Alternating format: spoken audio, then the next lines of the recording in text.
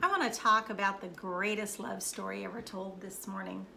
You know, last night um, I was watching the last episode of, of a book that was unfinished, written by Jane Austen, but unfinished. And boy, whoever produced this had the nerve to create a mini series and actually leave it unfinished, just like she left that book unfinished because she passed away. And so I never dreamed that the writers would not take up where she left off and finish the book. No. Uh, last night was the last episode and it, you know he he finally professes his love for her last week and what he says to her which is so precious he says you make me a better me and he, he you know it was just this revelation that that her interaction with him he showed reveals to him just how selfish and narcissistic he's been all his life. And he meets this woman who's just kind of out with it and she's pure and, and it ignites this this love in him that causes him no longer to just want to be the recipient of love, but to be the giver of love and to give her back this love he has. And then something happens within the family and uh, he comes to her last night and he, you know, this horrible thing, she's waiting for him to propose. And instead of proposing, he announces that he's forced to kind of make a decision and marry a woman he doesn't love.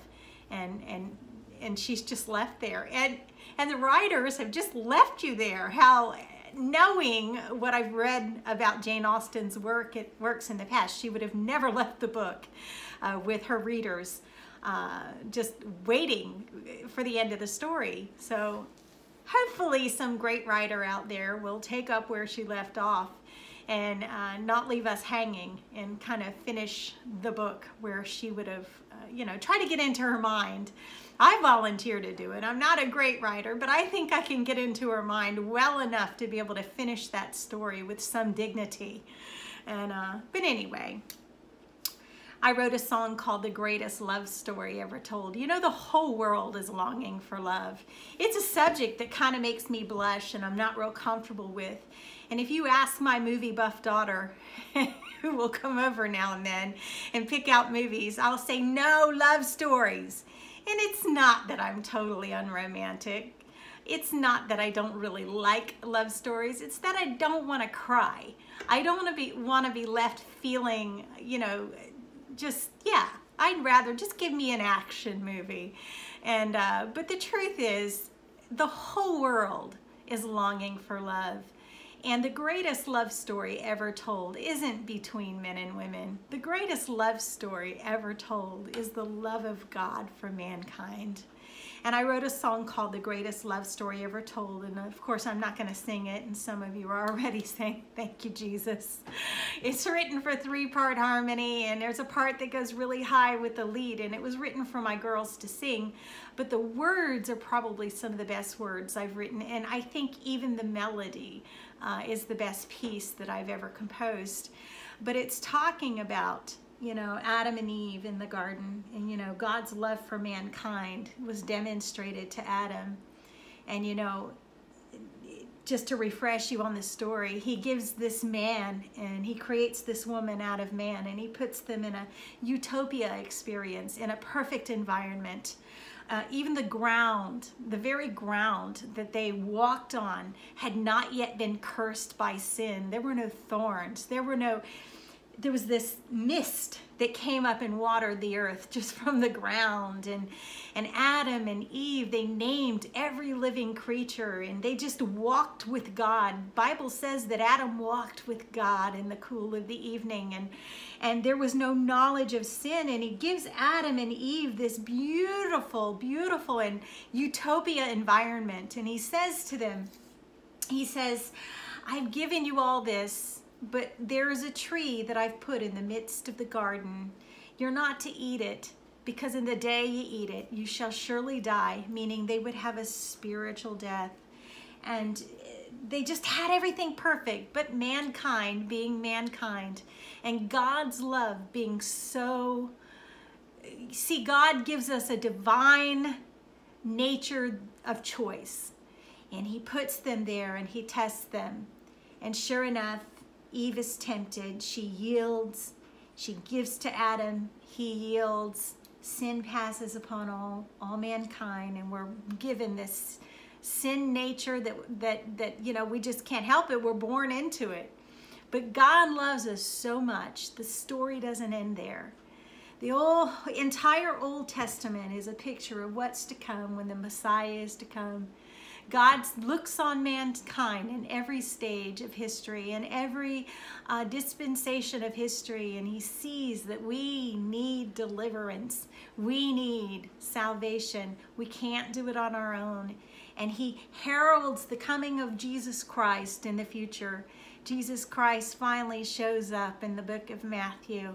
And for 33 years, he walked this earth, being God in the flesh, sinless, being tempted in every point as we are, but loving us so much that he lays down his life.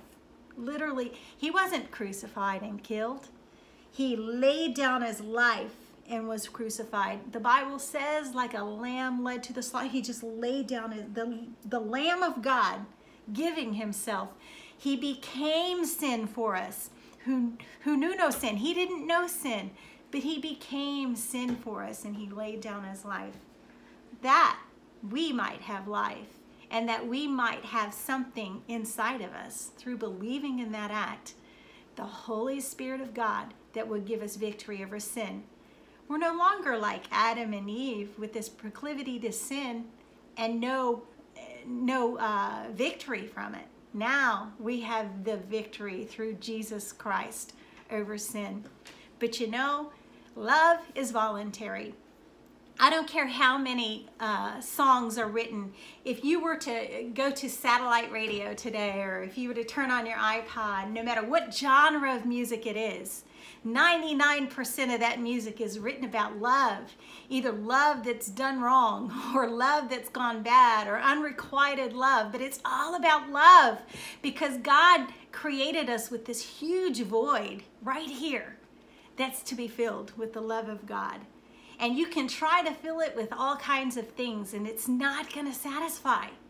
There is no more beautiful love story than the love of God for mankind. And that's what I'm here to tell you this morning. And I'm going to give one illustration. You know, I myself have struggled all my life to understand God's deep love for me. Oh, I know it. I get the general understanding. And unlike a lot of people, I got a good solid biblical understanding of the Word of God because I've buried my nose in that book from the time I was probably 14 or 15. But let me tell you something. Learning the love of God is a lifetime journey. And it's something that He will teach me over and over. And there is nothing in my life as important as God revealing His love to me. Here's my illustration. A few years ago, my prayer partner and I uh, who pray every day by phone and we'll try to do it as much as we can. No matter how busy we are, we try to make that connection and we'll pray. On this particular day, it was it was a summer day and it was just going to be beautiful. And one of my favorite things is my girls coming over to the house and tanning by the pool and just spending time with them. But on this particular morning, my heart was heavy. I had woke with the heaviness of grief over the loss of my 16 year old son, and I was just bowed over in grief. And I didn't want to pass my depression and my grief onto my girls. I wanted them to come and enjoy the sunshine and enjoy me and me enjoy them and just have a wonderful day. And they didn't need the heaviness of my grief because they had grieved enough on their own. And as my prayer partner and I were praying, this was the third time that week that we prayed this prayer. Earlier in the week, she'd prayed it twice. Today, I prayed it when I ended our conversation. And I said this I said, Lord, send me a token of your love. Now, I don't look for signs. I'm not that charismatic that has to have a sign. I am a believer in the Word of God. He's given me all I need. But because I don't seek after a sign, he gives his privileged children tokens of his love. He will show and he will, I like the verse that I read in John the other day. It says it will be uh, like a revelation of his love. and it will just a manifestation is the word that I used and what the book of John used a manifestation of his love and and uh, my friend had prayed twice that week that he send us a token of his love and uh, that morning as I was feeling the weight of, of grief I said send me a token of your love got off the phone with her my girls and the grandkids had not yet arrived yet I went and sat down in one of the uh, chairs the lounge chairs I had my fresh new beach towel spread out in front of me. And one more time, I bowed my head for merely a second. And I said, Lord, send me a token of your love. I opened up my eyes, and there in front of me, I kid you not, was a picked off dandelion, one of those bright Uh, yellow flowers. They're really just weeds. But only God knows something about me that knew, no one else knew. And I looked at it and I knew instinctively, immediately, that that was put there by the hand of God. I hadn't put it there.